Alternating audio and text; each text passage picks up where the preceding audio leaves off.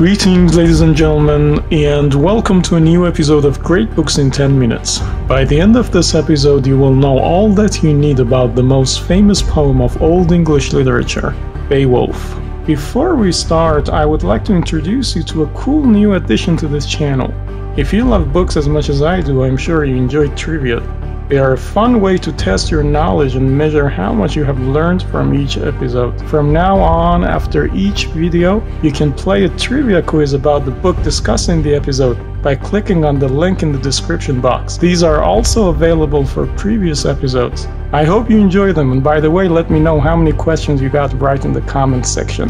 Beowulf is considered the first poem in the canon of traditional English literature. It was composed sometime between 975 to 1025 AD by an unknown author often referred to as the Beowulf poet. Ironically, the only surviving manuscript of the poem does not have a title either, and over centuries it has become famous as Beowulf after his protagonist. Although Beowulf was written in the West Saxon dialect of Old English, still it contains many other dialect forms, suggesting that like the Iliad, it could be much older than we estimate and that it was preserved orally and likely went through many iterations until the definitive version of it got written down. However, other historians believe Beowulf is the work of one author and it was written only a few generations after the Christianization of England in the 8th century. The main themes of Beowulf are bravery, vengeance, loyalty, and generosity. The story of Beowulf starts when Hrothgar, king of Denmark, and his great hall of merriment and joy, Heorot, are attacked by a monster named Grendel. Whenever there's a celebration in Heorot, the sound of celebration agitates Grendel so much that it attacks the hall and kills anyone he can get his hands on. When his warriors cannot defeat the monster, Hrothgar helplessly abandons his great hall and forbids all gatherings to avoid another attack by Grendel.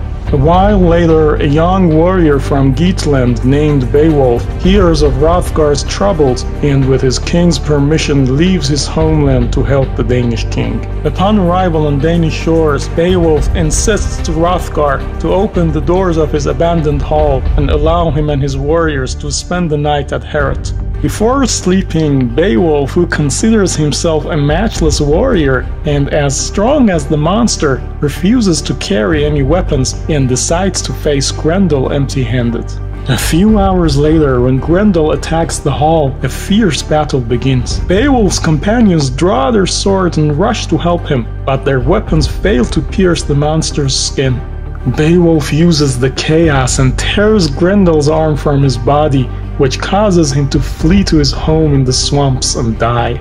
The next day, Beowulf proudly presents the whole of Grendel's shoulder and arm to King Hrothgar at Heorot. The king gives a handsome reward to Beowulf and honors him and his men with new lodgings worthy of their service.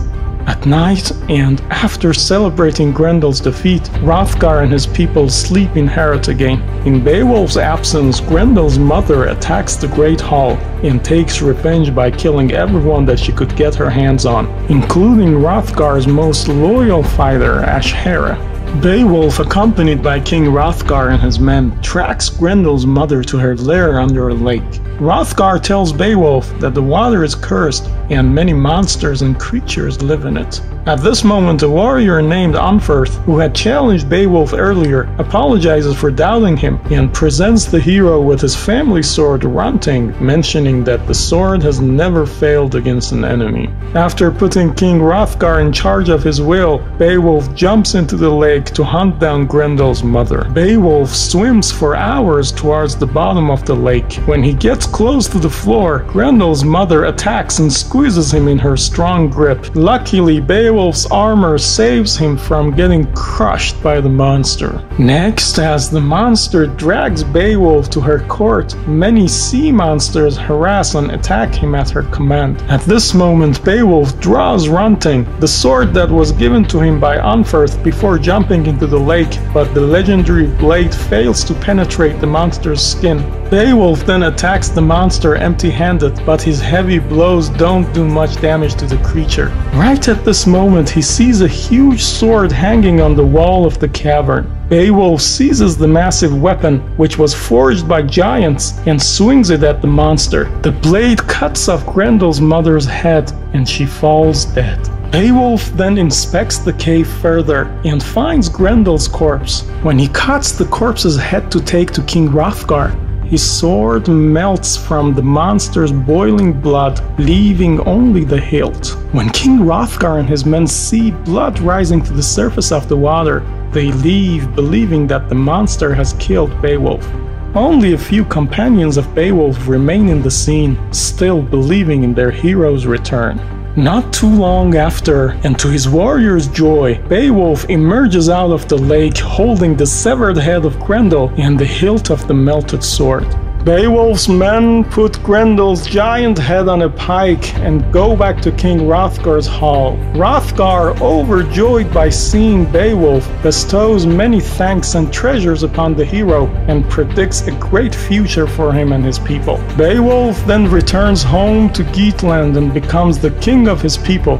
After almost 50 prosperous years since the time that he defeated Grendel's mother, News concerning a massive dragon living underneath the earth and guarding a great treasure spreads in the kingdom. One day, a slave finds his way into the dragon's lair and steals a golden goblet.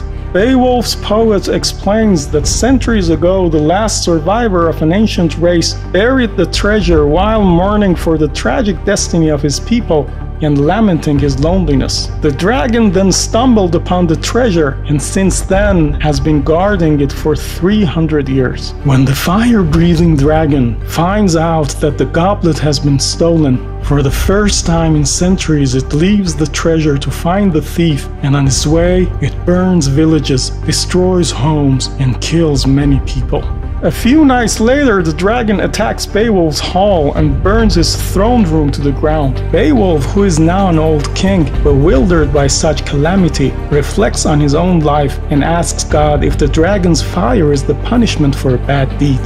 Next, Beowulf orders his blacksmith to forge him a mighty shield from iron, hoping that it would withstand the scorching heat of the dragon's breath. At the same time, his men find the thief and force him to show them the way to the dragon's lair. Before the battle, Beowulf has a foreboding feeling about his death. He reminds his men of the proud bygone days and his time at the service of many kings and his love for his people as a king, and vows to slay the dragon for them. Next, the dragon comes out of its lair and attacks Beowulf and his army. Beowulf charges the dragon and a fiery battle begins.